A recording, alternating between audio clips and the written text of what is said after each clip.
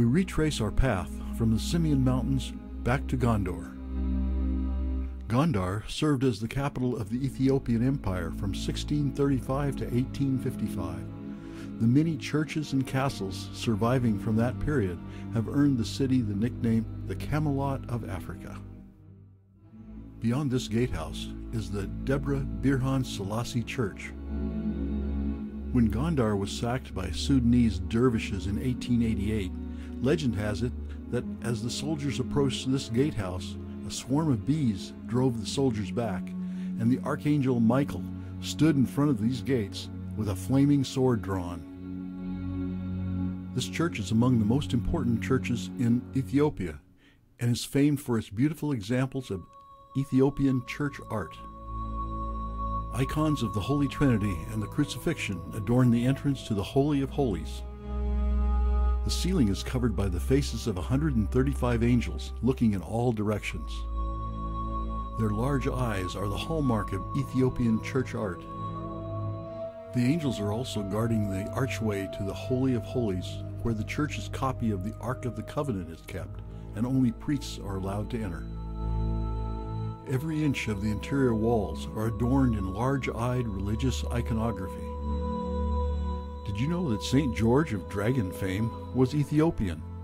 Apparently, the Crusaders became enamored by the life of St. George and took the story back to Europe with them, and St. George became the patron saint of England. Colorful panels tell biblical stories with big eyed Ethiopians in 17th century dress. The story of the crucifixion and the resurrection of Christ occupy another wall. Pictures of saints and martyrs fill in any leftover spaces. A Madonna and child occupy a place of honor between the curtained doorways to the Holy of Holies. We also learn that drums have an important part in the church service. The church is surrounded by a rock wall with 13 gates. The main gatehouse represents Christ, and the other 12, like this one, are the apostles. It's forbidden to cut down trees around the church, so the area is a sanctuary for birds.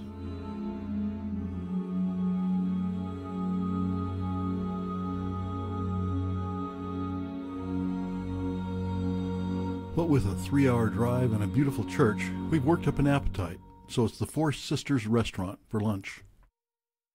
The large buffet has something for everyone, from shepherd's pie and pasta to Ethiopian cuisine. John gave us a heads up to bring our cameras to lunch. The restaurant has set out feeders that attract all kinds of birds.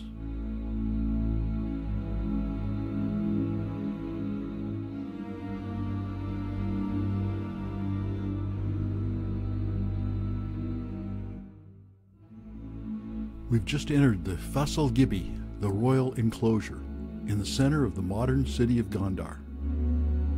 In the 17th and 18th centuries, this compound was the residence of the Emperor of Ethiopia.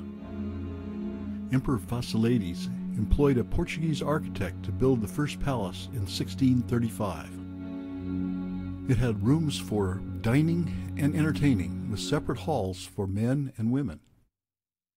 Fasilides' son, Johannes I, added this library and chancellery to the compound. The Italians used the compound as an administrative center during their occupation of Ethiopia from 1936 to 41. Some of the buildings were damaged by British aerial bombing. Johannes' son Joshua I built his palace next to his grandfather's.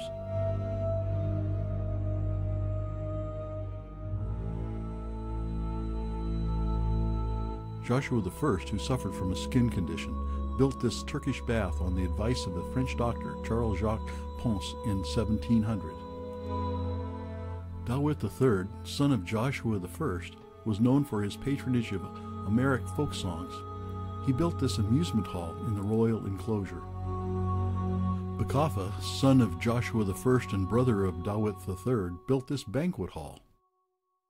Joshua II, son of Bakafa, built this castle for his mother. The entire royal enclosure covers 17 acres and is surrounded by a stone wall with 12 gates. Our last stop today is another of Fasilides' castles. This one sits in the middle of a swimming pool. To preserve the 350 year old summer palace, the pool is only filled once a year on January 19th for the celebration of Epiphany. The pool is surrounded by magnificent old trees full of birds. At the risk of boring the rest of the group, we do a little birding.